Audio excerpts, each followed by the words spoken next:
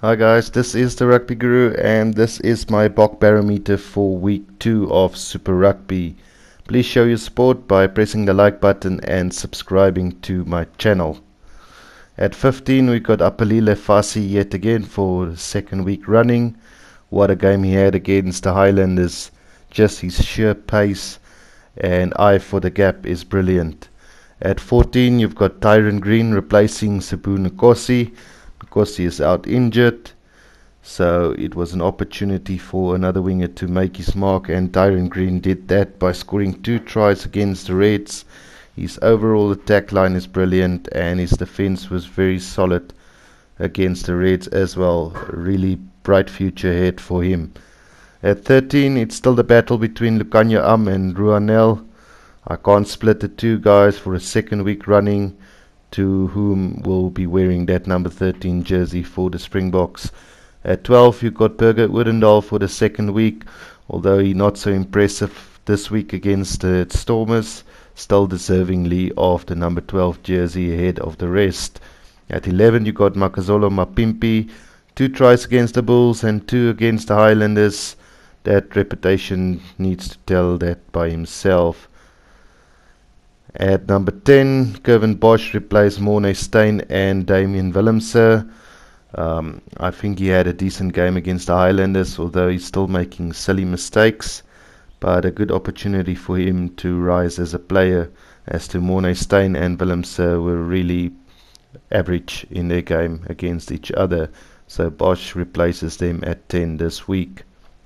At 9, you still got Herschel Jantjies at the moment, I don't see another Scrum-Half uh, really lifting him out of it, except maybe for Sanele Nohamba, who's coming through as a good youngster.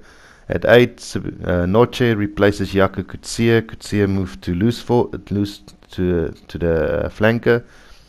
Uh, Notshe was instrumental in two of the Sharks' tries against the Highlanders. His slick handling and his ability to hit the gap is really remarkable.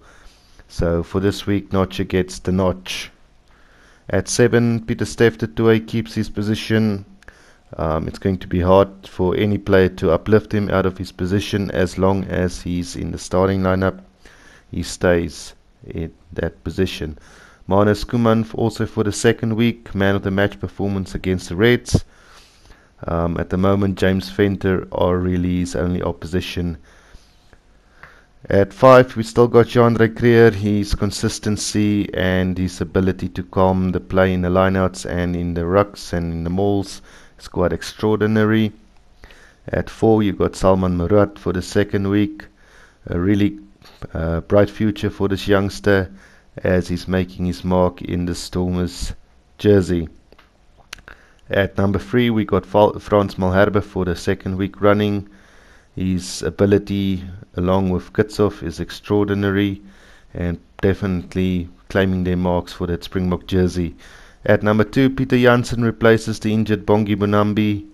Um, although he's still struggling a little bit with his line-out throws, I think Peter Jansen has the ability to become a really good player for South Africa as well. As to whether he's ready for it just yet, we'll have to wait and see in the next couple of weeks coming. But for this week, Peter Jansen did enough to wear the number two jersey. At number one, we've got Steven Kitshoff as usual.